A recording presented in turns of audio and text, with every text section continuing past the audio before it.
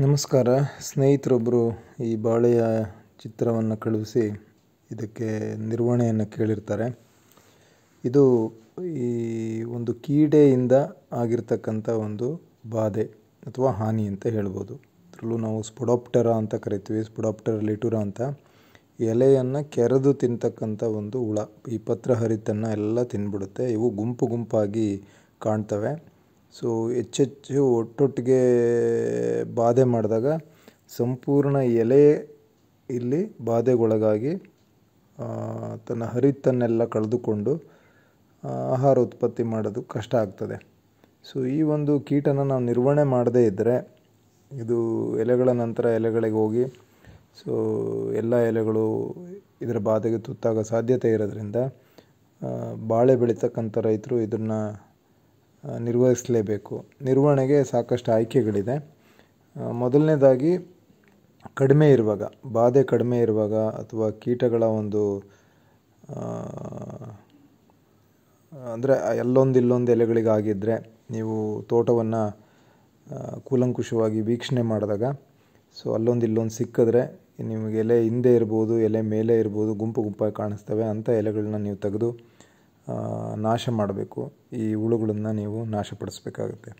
ಮತ್ತು ಆ ಥರ ಬಾಧೆಗೊಳಗಾದ ಎಲೆಗಳನ್ನು ಸಂಗ್ರಹಿಸಿ ಸುಡಬೇಕು.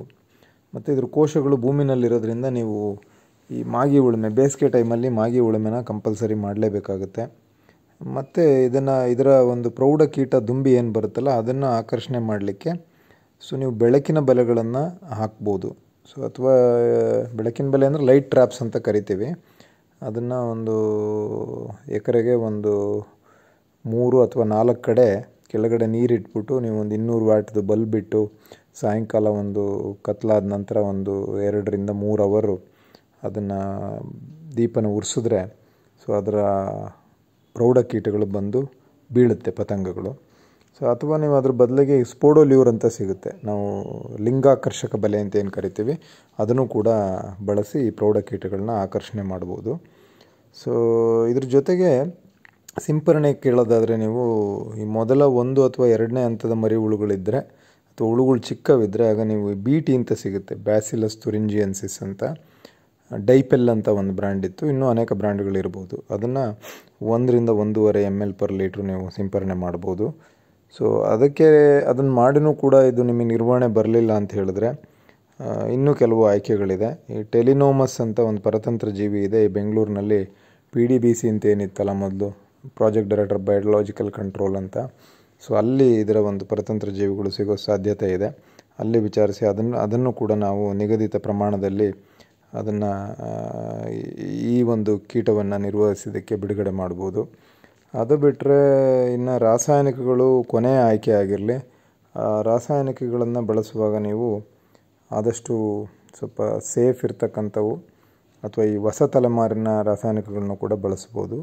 ಸೊ ಹಣ ಕಡಿಮೆ ಅನ್ನೋ ಉದ್ದೇಶದಿಂದ ಬೆಳೆಯ ಪ್ರಾರಂಭಿಕ ಹಂತದಲ್ಲಾದರೆ ಈ ಪೀಡನಾಶಕದ ಉಳಿಕೆದೇನು ಸಮಸ್ಯೆ ಇಲ್ಲ ಅನ್ನೋದಾದರೆ ನಾವು ಕ್ಲೋರೋಪೈರಿಪಾಸ್ ಅಥವಾ ಕ್ವಿನಾಲ್ಫಾಸ್ ಎರಡು ಎಂ ಎಲ್ ಪರ್ ಲೀಟ್ರು ಬಳಸ್ಬೋದು. ಅಥವಾ ಇಂಡಾಕ್ಸಿಕಾರ್ಬ್ ಆದರೆ one M L per litre ಬಳಸ್ಬೋದು. ಅಥವಾ ಇತ್ತೀಚೆಗೆ ನೀವು ಏನು ಕೊರಾಜನ್ ಅಂತೆಲ್ಲ ಕೇಳಿರ್ತಿರಲ್ಲ point three M L per litre ಗೋ, ಗಮ್ಮನ್ನು ಹಾಕ್ಕೊಂಡು ವೆಟ್ಟಿಂಗ್ ಏಜೆಂಟನ್ನು ಹಾಕ್ಕೊಂಡು ಬಳಕೆ ಮಾಡಿ ಈ ರೀತಿ ಈ ಒಂದು ಕೀಟವನ್ನು ಅಥವಾ ಕೀಟದ ಬಾಧೆಯನ್ನು ರೈತ ಬಾಂಧವರು ಸಮಗ್ರವಾಗಿ ನಿರ್ವಹಣೆ ಮಾಡಬಹುದಾಗಿದೆ.